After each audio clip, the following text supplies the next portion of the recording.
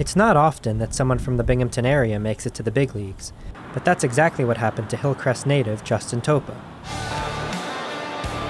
Three and two again. Swing and a miss. He struck him out.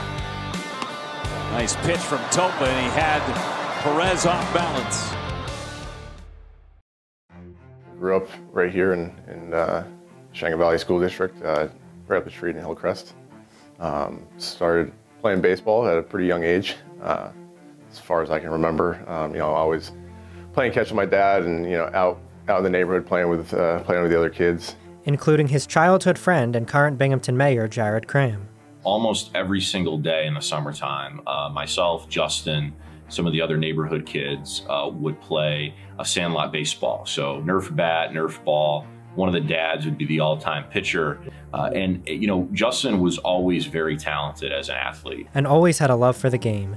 He worked as a bat boy for the Binghamton Mets and went on to play in high school for Chenango Valley, winning two Section 4 Class B championships under the leadership of Coach Dave Tiddick. 2008 was the first sectional title that he won.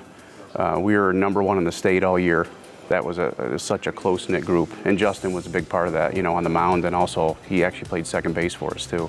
Uh, the next year, there were three sectional games, and he pitched in all three of them to, to win the title.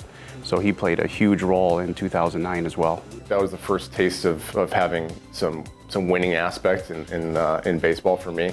It definitely propelled me uh, in my baseball career, understanding like what it takes to win and win at a high level. On November 14th, 2008, Topa signed a national letter of intent to play for Division One Long Island University. Warriors baseball star Justin Topa also made a splash with his signing today. Oh, I was really excited. Uh, it's been a dream of mine for a while, and uh, just go down there and play with former teammate Derek Subsky. Uh, I was really excited, and um, can't wait to go down there. Topa saw success at LIU, tallying 200 strikeouts, 20 wins, and 13 complete games, while also earning accolades such as Louisville Slugger Player of the Week, NEC Pitcher of the Week, and ECAC Pitcher of the Week. Topa's college success was ultimately recognized when he was drafted by the Pirates in 2013, but his journey to the majors was far from over. Going through the, the whole process of through the minor leagues and the injuries and all that stuff and getting released and then picked up out of indie ball, um, there was always that end goal of like, you know, I think I could pitch in the big leagues. It would be seven years through the minors and independent leagues, three MLB organizations, and his second Tommy John surgery before Topa would get the call that every kid dreams about. He spoke with Fox 40 sports director Dylan Kuhn in 2020 about the opportunity to play for the Milwaukee Brewers. It's the phone call that any baseball player wants to hear, and um, you know, I was able to to call my dad and, and my sister and, uh, and, and update them, and obviously very emotional morning. Topa would spend three seasons with the Brewers, and on January 7th, during the celebration of another milestone, the birth of he and wife Trisha's first child, Topa learned his career would be taking another turn. Was recently just traded to the uh, the Mariners, so excited for that opportunity and to uh, get things going there.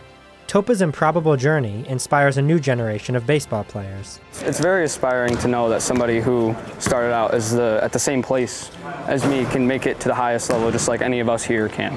Justin has been a personal role model for me, someone who you know looked at challenges in the face and and just went right through them. That was I think something that inspired me to you know, take the risk and, and run for mayor, uh, being the youngest mayor in, in, history. Oh, well, Justin was the player that everybody wanted to coach. I mean, he was there at practice, you know, first one there. He was the last one to leave.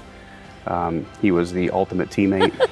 hey, coach, thanks for everything. Topa, you put it on my car after a golf practice, and I kept it, but also a very good family man. That's the story that should be told out of Binghamton.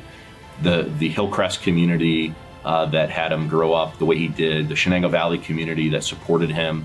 You know, he wasn't a guy that rolling into junior or senior year, he was a hot prospect about to be drafted. You know, he, his senior year, became really the pitcher that we see today, a dominant, tall right-hander uh, that can make you look foolish in the batter's box. You know, that I saw that happen in real time, and eventually uh, people in the major leagues took notice of it too.